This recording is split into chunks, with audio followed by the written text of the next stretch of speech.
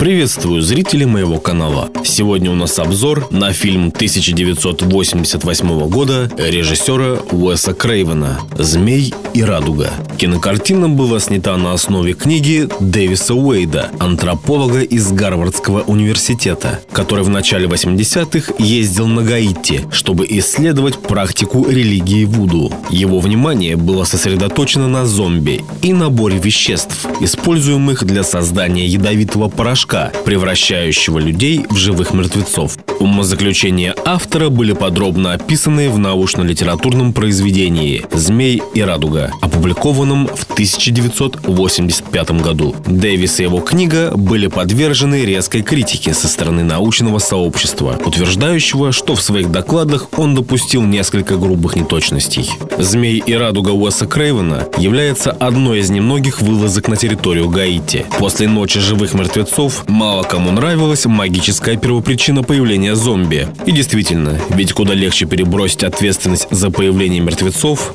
на некий безымянный химикат. Уэс Крейвен решил копнуть глубже, до самых костей. В книге «Змей и радуга» автор пишет, что на Гаити боятся не самих зомби, как это часто показывают в фильмах. Там боятся стать зомби, потому что став зомби, человек переходит в состояние вечного чистилища, в котором нельзя следовать естественному циклу жизни и смерти. Это своего рода наказание, аналогичное электрическому стулу.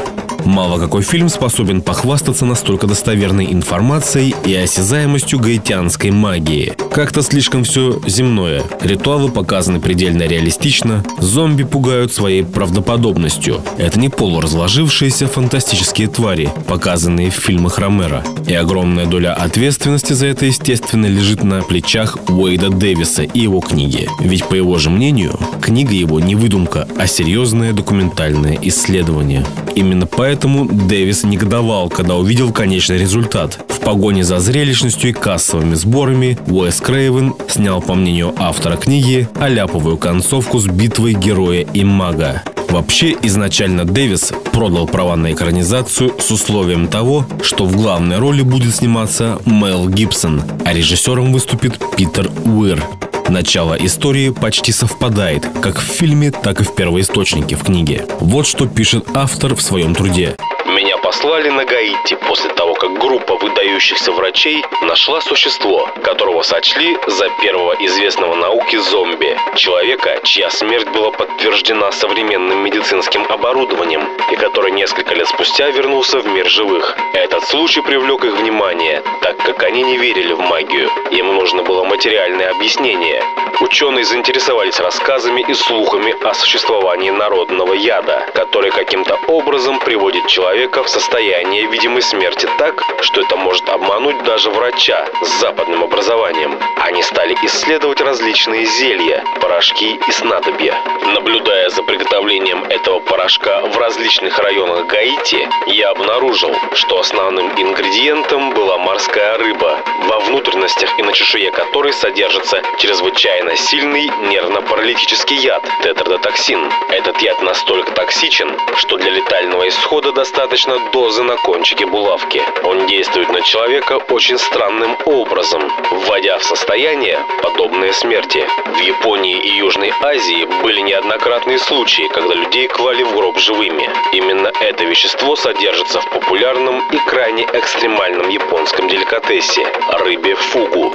Смертельный рецепт, не правда ли? Смертельно опасными показались продюсерам и съемки картины. Из-за политических и гражданских беспорядков в Гаити на момент съемок картины местное правительство проинформировало съемочную группу, что не смогут гарантировать им безопасное пребывание на Гаити. Поэтому съемочная группа спешно переехала в соседнюю Доминиканскую республику, чтобы завершить съемки. В Доминикане, как многие знают, хозяйничают американцы, и поэтому Санта-Доминго добродушно принял команду Уэса Крейвена. Картина любопытна еще и тем, что в ней демонстрируются реальные кадры свержения диктатуры клана Дювалье, отца и сына, а также спешную эмиграцию Дювалье-младшего из страны. История диктатуры отца и сына Дювалье тесно переплетена с событиями фильма и достойна отдельного обзора на каком-нибудь политическом или историческом YouTube-канале. Старший Франсуа Дювалье по прозвищу Папа Док, который расправлялся с жителями Гаити, правил вплоть до 1971 года. Для нагнетания страха и приобретения популярности Дювалье умело представлял себя колдуном Вуду и даже бароном Субботой, вождем мертвецов.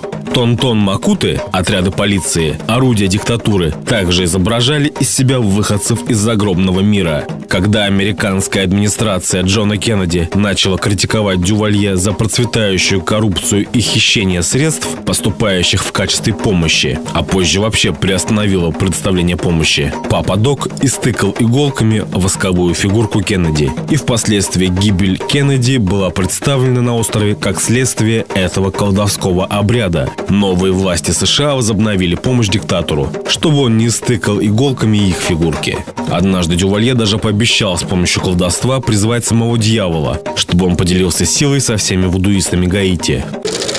Съемочная группа работала не покладая рук, так как экзотическое место съемок заставляло нервничать страховую компанию и бухгалтеров студии. К съемкам подключился непосредственный продюсер Роб Коэн, который в прошлом, 87 году, успешно спродюсировал картину со Шварценеггером «Бегущий человек». В картине «Змей и радуга» Роб Коэн также выступил режиссером второй съемочной группы. Исполнитель главной роли Билл Пулман недавно женился, и супруга отправилась с ним на эти экстремальные съемки, а также поучаствовала в одном из эпизодов картины. Вот она, вставляет иглу.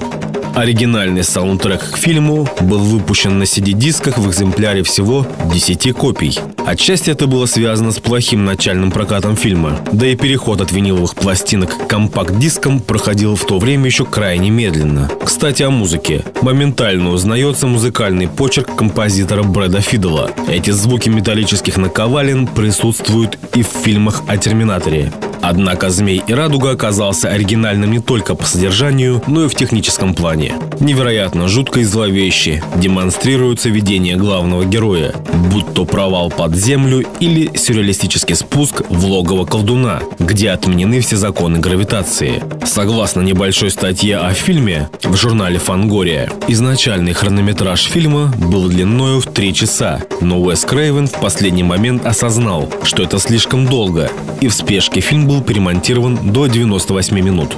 Слабоватые сборы в кинотеатрах отнюдь не делают эту картину изгоем в жанре. Напротив, кинокартина – одна из немногих, что существует о культе Вуду. Потрясающий фильм, наполненный колоритом Гаити. Достаточно интересен и явно будет пересмотрен не раз, так как сделан крепко и грамотно. На момент выхода этого обзора в сети интернет нет ни одного перевода на русский замечательной книги «Змей и радуга». Внизу под роликом я оставлю ссылку на книгу в оригинале. И если кто интересуется темой Вуду и владеет английским языком, могут скачать и прочесть эту любопытную книгу.